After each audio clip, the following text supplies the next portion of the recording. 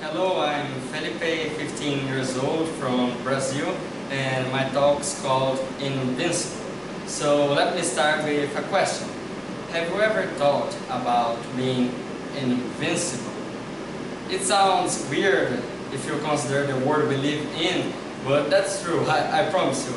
So I am here now because I'm one of those invincibles. And first of all, let me clarify something.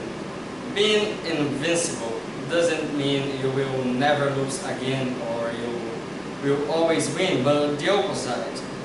Uh, being invincible is have the tenacity to pass through everything head on, suffer with shame and defeat, and then get up to the next fight. Once Michael Jordan said, I failed over and over and over again in my life, and that's why I succeed. He's right, because if you think uh, your final victory, the trophy you are seeking the most, and will make everything worth it, will be easy, then you definitely must change your mind, because it won't. And that's the reality, wherever you are. It's struggle to have success, that's a primal law in the society we live.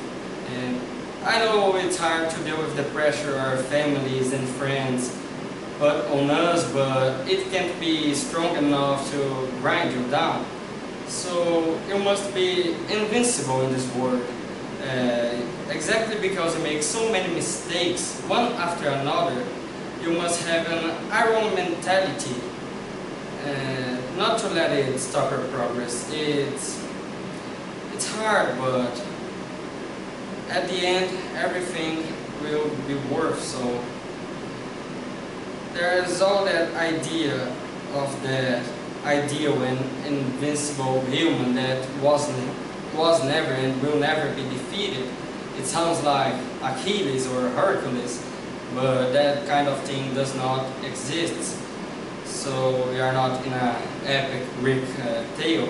The real invincible human is the one who never gets comfortable with the victory, who is always seeking to improve, and knows the depth behind sorrow and pain, taking it as fuel to get stronger.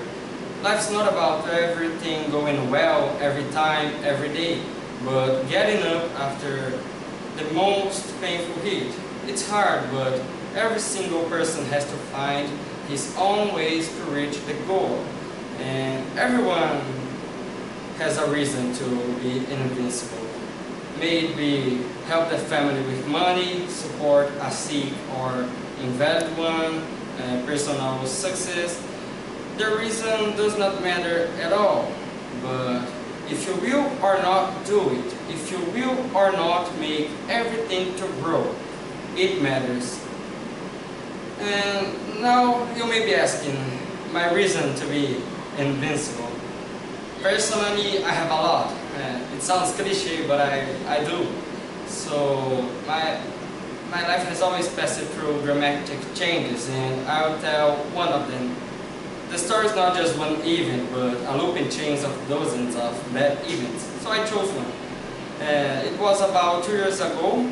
Uh, the main event of the chain got me hard. It was like a hard punch in the face. And I remember clearly two years ago, one day my father came back from work quietly, like if a million ghosts were surrounding and whispering inside his ears. And I was in the bedroom when I heard something from the kitchen. Uh, he said exactly three words. Uh, I saw it, he said. I remember a strange taste spread inside my mouth and I was like, what?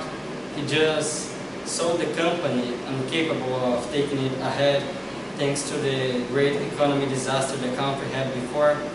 So it, after that, I promised myself I will try harder and I will be better so I could help my family and be the hero I wanted to be. And so I did in drawings and my violin writing, grades, and sports, I grew exponentially in everything you can imagine. And I found my reason, and I started working it.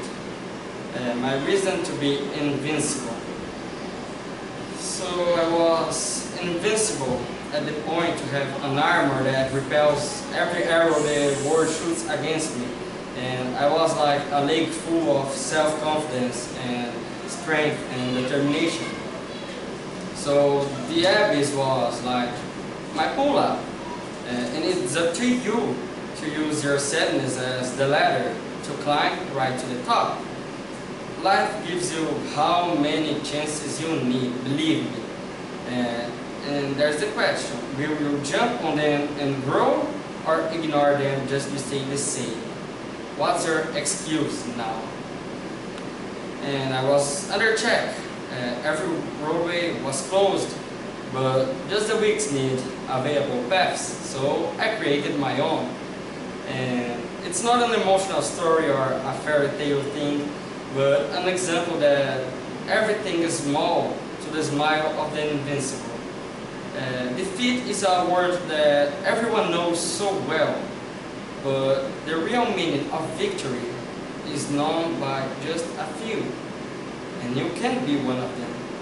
So you may get up, you get up from the mud, right? Start looking with passion to the blue sky and start thinking on what to do today because it's your time to change your life and do what you think is better for you. And that's my message, so I hope you try to be better from now on and be invincible. Thank you.